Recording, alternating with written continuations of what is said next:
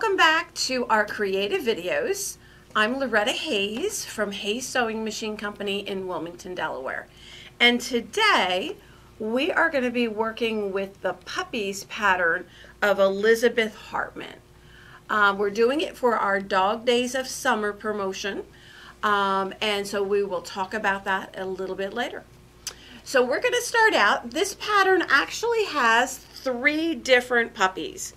And the puppies' names are Smokey, Toby, and Lulu. Aww, cute. So we are going to be uh, doing Toby.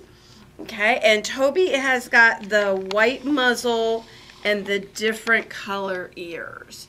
And Okay. so, you want me to Yep, perfect. Can you point to it again? Uh, sure. So Toby's. That's that like one. that one there. Got it. Okay. And really, both, all three dogs are um, just variations off, off of a theme, uh, slightly different sizes, that kind of thing. All right, so we are going to start out, and um, as we've done in the past with Elizabeth Hartman, they are very easy to do. But when looking at it and cutting it out, you look at it and go, oh my word, what have I done? And so, what you just need to do is you need to label the pieces. Um, we labeled them with little paper tabs this time. I have done sticky notes in the past. Um, if I'm doing, I'm only doing one puppy today, but if I'm doing all of the puppies for the quilt, then what I would do is I would take some sandwich baggies and I would, you know, put A, B, C, and put all the A's in, all the B's in, uh, etc. So as you're working with it, much, you just need to be a little bit organized with it. Not difficult piecing, but do need to keep it separated. So we're going to start out with Toby's nose. And Toby's nose is, is B. And so we're going to take the B section and we're going to add the white pieces on his muzzle. And so when we're working with white, and this happens to be a white on white print, and if you've worked with white on white prints before, you will know that it is so easy to flip one or two of them and have the wrong side facing up. So as I'm doing this, you'll see me put the white fabric on top of my hand, and that is what they refer to as the skin test. And I don't know why, but it makes it much easier to see that we are doing uh, the right side. So we are going to put the right side of our white on white print, and we're going to place that in the lower corner of his little nose. So we're going to stitch from one side to the other. And this piece here is about an inch and a quarter. And so oftentimes if I'm doing the smaller pieces, a one inch piece or uh, a one and a quarter inch piece, you'll see me just take off and just sew from one corner to the other. But as we're going along, we're going to see larger blocks, which we're going to draw the line. So we're going to go ahead and we're going to be sewing from one side of the black nose to the other side of the black nose. We're then going to cut our piece.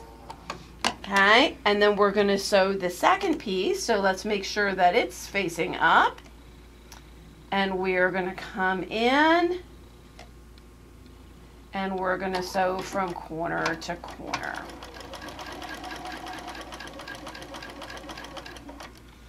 And this would be one of those few times where I really like having a quarter inch foot that doesn't have a guide on it. We can use a quarter inch guide um, when we start putting the pieces together, but in the sewing of the lines going across, oftentimes a quarter inch foot with a guide will drag on the fabric and kind of twist it as you go. So just to make life easier, you could even swap to a regular sewing foot for this part of it and then flop back over to your quarter inch. All right, so now that we've done this, we're gonna go ahead and we're gonna trim away the excess corner. And I am gonna hop over to the ironing board and I'm gonna press it and I'm gonna press it towards the dark side. Now, one thing that you need to know when you're reading your Elizabeth Hartman pattern, um, Elizabeth Hartman has you press seam allowances open. Uh, I think mainly for bulk purposes. Um, however, I have found with her patterns that just pressing it to the dark traditionally has had no issues at all. So we now have the bottom of his nose. So now we need to start adding his muzzle. So we're going to take the letter P and we are going to add that to the bottom. And if you've not done an Elizabeth Hartman pattern before, she kind of does the in sections. So we're going to work on this nose section, the snout, um, and then we'll set it aside and we'll move on to something else. And then we will come back and we will put all the units together. Okay, so we now have that there. We're now going to take and put the top part of the muzzle on. So that's the letter M, and we're going to place that at the top. And I tell you, that skin test is wonderful because I almost put a wrong side facing up. so we're going to come in. And we're going to stitch that on the top. Give that a quick press. Once again, press towards the dark, particularly on this um, section where his nose is, because uh, we don't want that black to shatter through on the white. All right, last things for this muzzle is to take the letter M, N as in Nancy, I'm sorry, and we are going to place that on the sides. So we'll come in.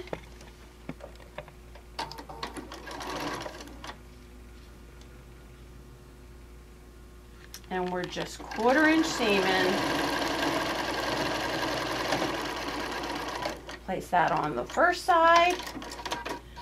And then we'll take our second one and we'll place that on the opposite side.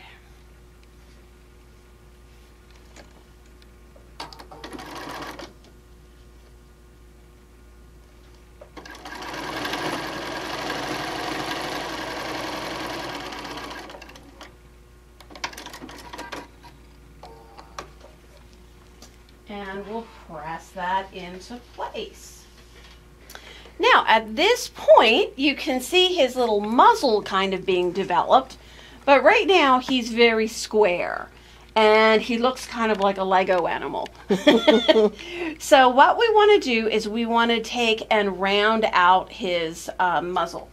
So we're going to come in and we're going to place our um, background fabric, which is going to be the yellow, and we're going to place it and we're going to go uh, one on the bottom and one on the top, on the, excuse me, one on the bottom left side and one on the bottom right side. Now, we're getting to blocks that are a little bit larger. So, probably can't eyeball it as accurately as I would like.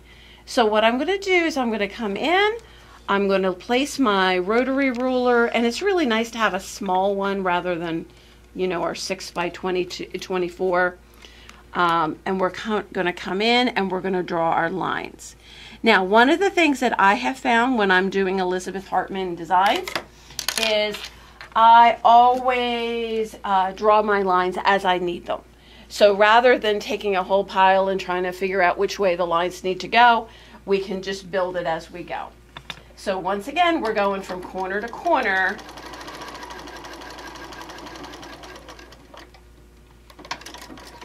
and then corner to corner again.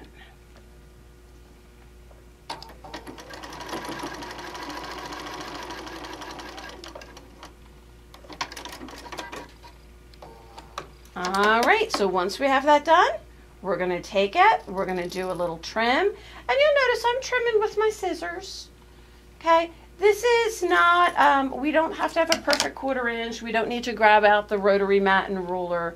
Um, we are just kind of getting rid of the bulk of that triangle. And then we'll press that into place. And now the bottom of his muzzle looks so much cuter. So now what we want to do is we want to round out the top one.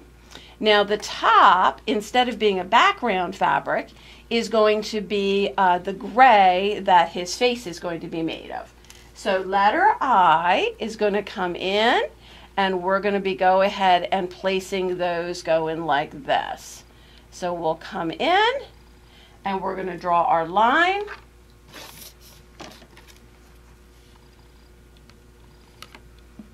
Going side to side. And just a kind of a little thing to know, when you're doing Elizabeth Hartman patterns, often, not every single time, but often when you're drawing your diagonal lines, you are drawing it from the side to the top, the side to the top, side to the bottom. So it would be very unusual for you to be drawing your line where it's going to go out the corner, coming out from there. So we're going to go ahead and we're going to flip that back. So it's just kind of a nice little double check. Are you drawing that line from one side of the unit to the other side of the unit?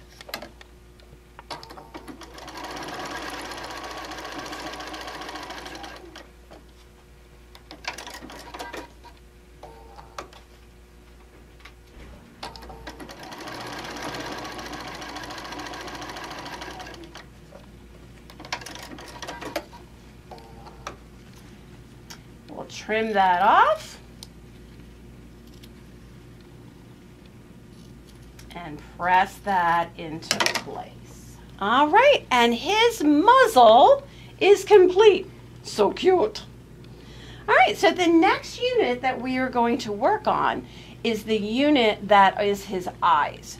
So we're going to take his eyes. So we have uh, letter A, which is his physical eyeball, and then letter H, which is the little uh, gray section right next to his eye. And we're going to join that twice.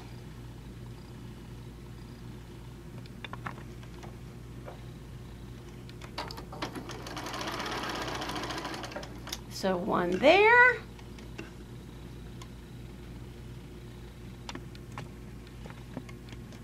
And one here.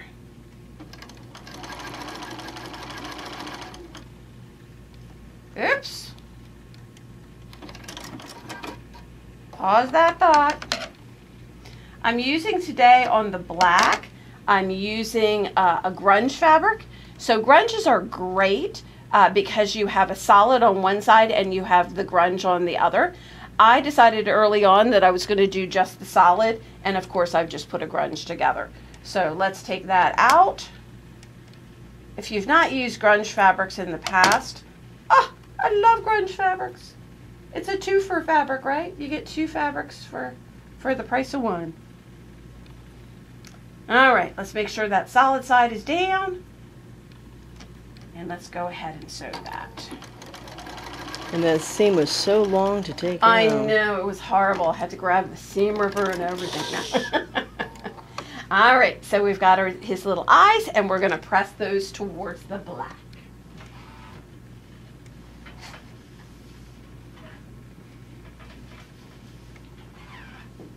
All right, so now when we lay this back out, now is the time to kind of pay attention to his eyes because we don't want him to have eyes that are going like to the left or to the right or cross-eyed or that kind of thing.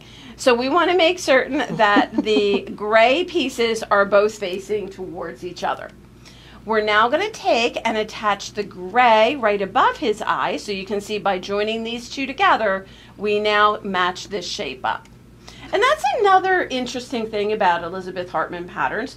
Because of the way she builds the piecing, um, it'll be super obvious if you're not putting the two pieces together that she intended. Because there is kind of a little bit of an order to it and she gives you this wonderful diagram um, to kind of follow in her patterns. Um, she is, as far as I'm concerned, an awesome pattern writer. Um, once you've done one Elizabeth Hartman pattern, you can do all of them because the technique is done exactly the same way each time. But if you pick up a piece and it doesn't line up, you know, it's like sticking out a quarter of an inch or a half an inch, um, then we need to go back to the diagram and check it out. All right, so now we have his two eyes, and now what we want to do is get that lovely white stripe that's going to run up his forehead. And so that is going to be our L piece. And so we're going to place that in between the two eye units that we've just done.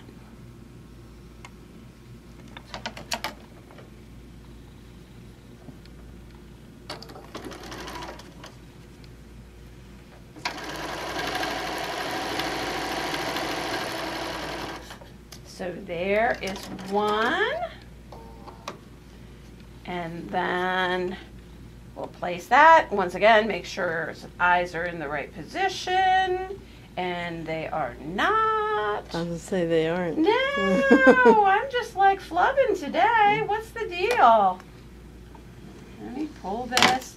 But hey, you know, catch it on the first one. Pam so nicely hands me a seam ripper.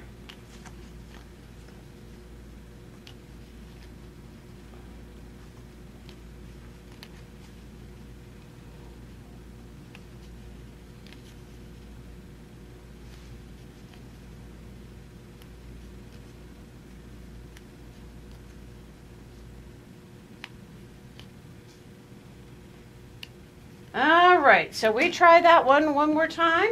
Let's lay out his eyes. Grays are in the center. and when I pick it up, I'm going to make certain that I'm sewing along the gray, not along the eye. there you go.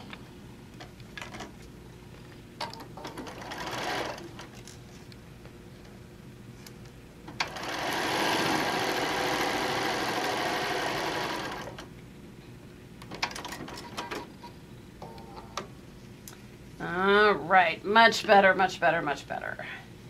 And then we'll sew the second one.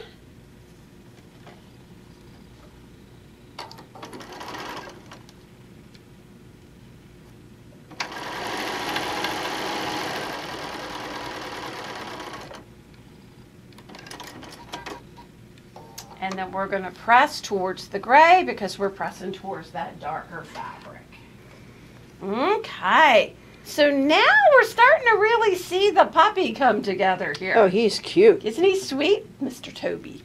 All right, so we're going to come in and we're going to join this unit to that.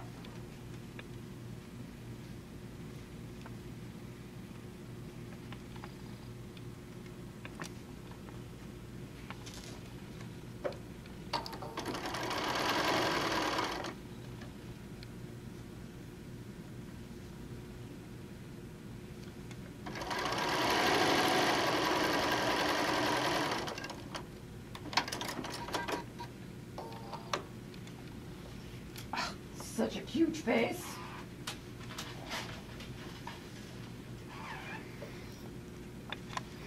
And then our last thing for this center unit is to add the background at the top, which is our letter C.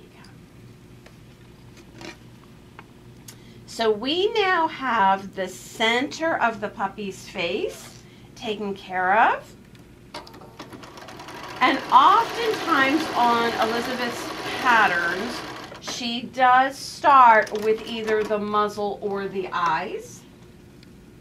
I think she does it because then she gets rid of all of the little fiddly pieces first, and then you're working the rest of them.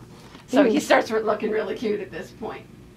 All right, so the next thing that we need to do is we need to put the sides of his face on. So what we're going to do is we're going to take letter K and letter F, so one gray and one background, and we have it on both sides. Now, when we go to do this, we want to do mirror images of them. So when I lay this down, the left hand side, I've got the background at the bottom and I have the gray on top and it's pointing to the left. On the right hand side, I've got the gray, the background on the bottom, gray on the top, and it is pointing to, To the the right. right. At which point we can now draw our diagonal on the gray fabric.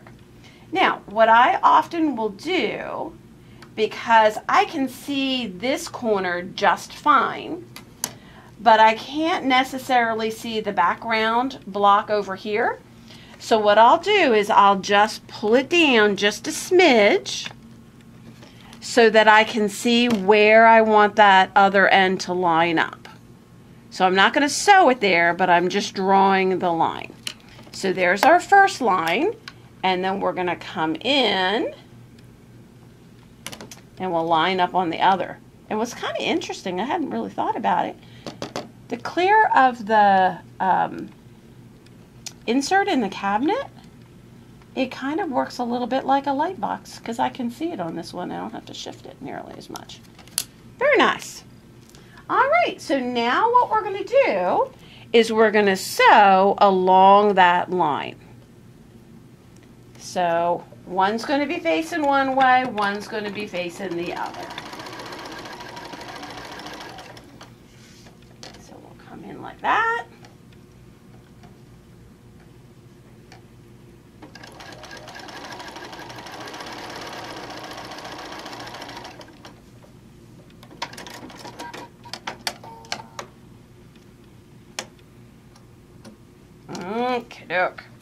And we're going to trim away our corner just like we were doing when we were doing our squares and we're going to press towards that gray fabric. Okay, so that's kind of going to be going like that. So you can see how he's getting the Oh, roundness sure. of his face. Yep. All right, so while we're doing this unit, we're going to come in and we're going to add the background, which is letter G, to the side piece.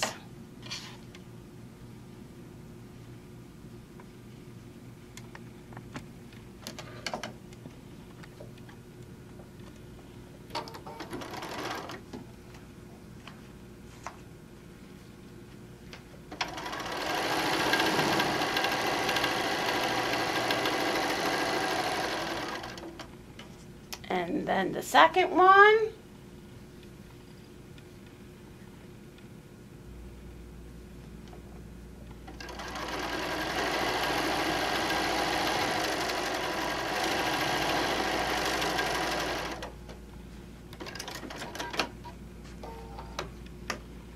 And then we will press that flat.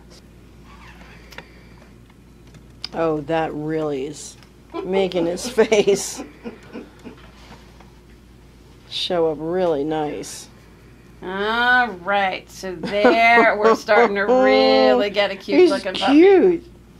All right, so the last thing that we need to do is we need to do his sweet little ears. And we've done his sweet little ears in polka dots. so we're going to start at the top um, and we are going to do our D's in our background and we're going to draw, we have two of them in this case for each ear. So once again, from side to side, and side to side. So they should be pointing together at the center of his ear.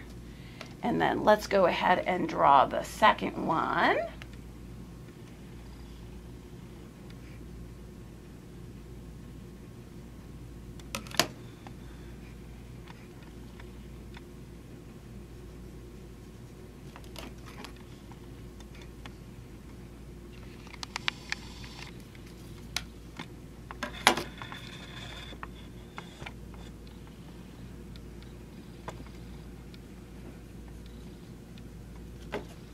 Alrighty.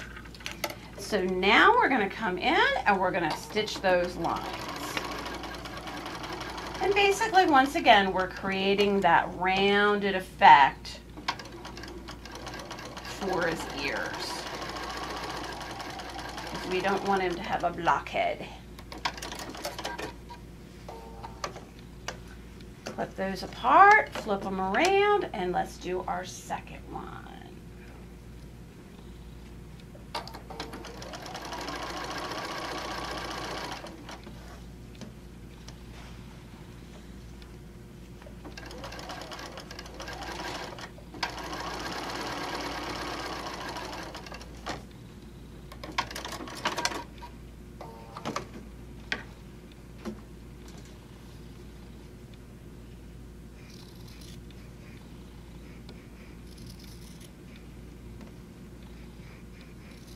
Clip those ends and press it towards the gray. All right, so we now have the top of his ears done. I love the spotted. so now what we want to do is we want to curve the bottom of his ear. So we're going to take the E square and tuck that in the corner. And obviously make sure they're opposite. Correct. Make sure we're mirror imaged. Mirror image. So once again, we're going to have one on the left and one on the right. And definitely need to draw the lines on this one. Or his ears could be blowing in the breeze. Mm, that's true. That's true.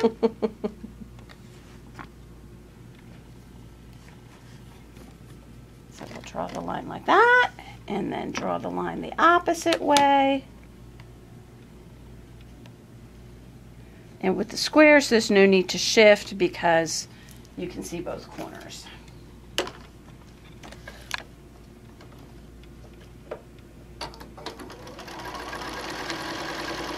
So I was trying to think back.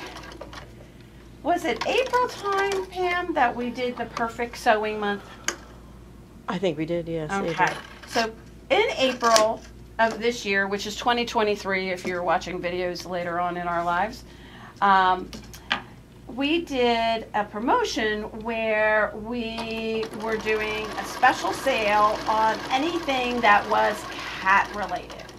So we had cat patterns, cat fabrics on sale.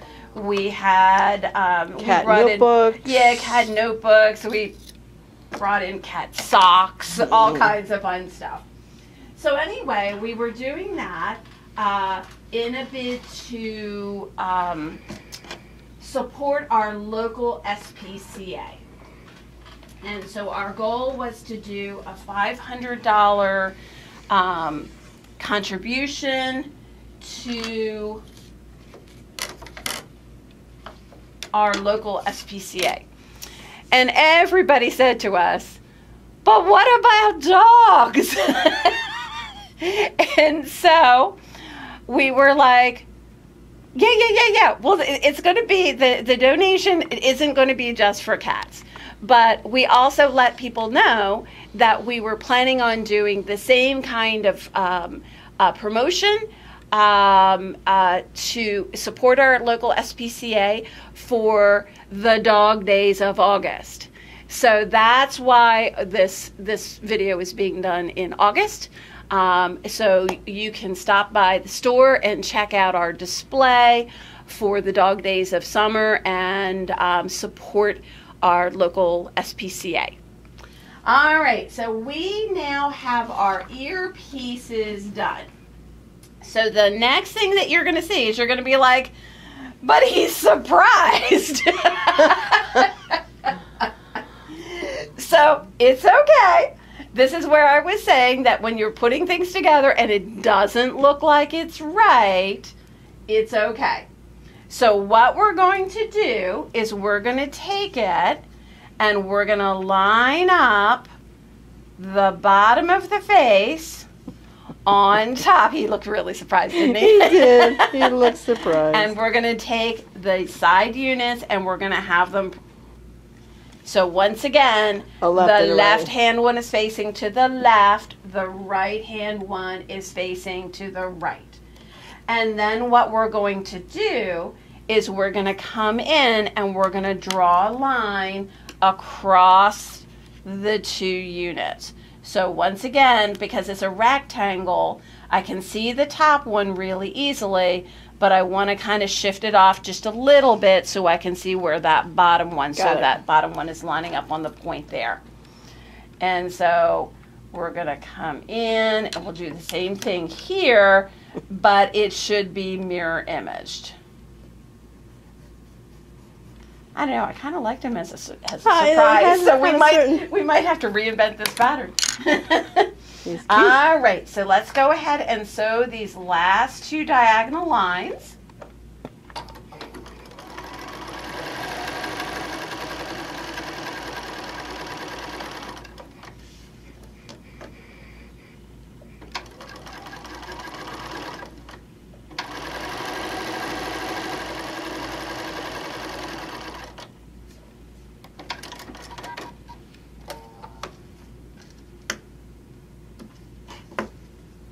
And then we are going to cut away this entire section. Now, what you might want to do is you might want to take a quick look to make sure it's exactly what you want. There you go. So before you cut away, that you feel confident.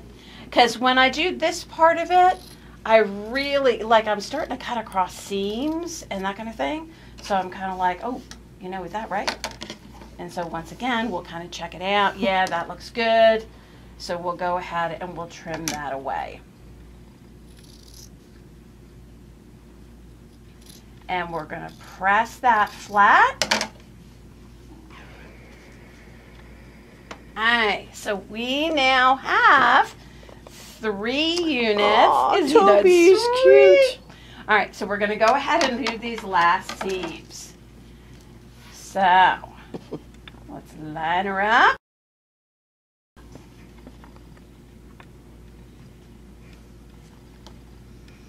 And I find that Elizabeth Hartman does such a good job designing her patterns that very seldom do I find any variation. But if you do, let's say you're an eighth of an inch bigger, because there's a lot of seams in this pattern here. You know, if we were off a smidge, we could affect the, the overall block size. So remember the rule that if you have a little bit larger, that piece is always going to go to the bottom. So we're always sewing with a big bottom. So I pick it up, I take a look, I line it up there. So actually here, look at that. All right, so we're like about an eighth of an inch off. So we'll go ahead and we'll put that bigger piece on the bottom. And then we'll grab a hold of the edges because somebody's going to be in charge and it's going to be us. And by the time we make it down to the other end of the block, those ends are going to line up exactly. All right, let's give him one final press. Ah, that is Toby. And so- Toby is cute. Toby's sweet. Toby needs a little bit of thread trim up, and then he's ready to maybe get put in a pillow or maybe in a in a quilt as well. So I hope you enjoyed this um, this block. It's a fun one to do. One of the things I love about Elizabeth Hartman's patterns is they keep your interest all the way through. So I love doing nine patches, but by the time I'm done 18 nine patches for uh, you know 25 block quilt, I'm kind of bored. Okay, but never ever do you feel that way with these. Always keep you interested. So we'll see you next time. Um, enjoy sewing.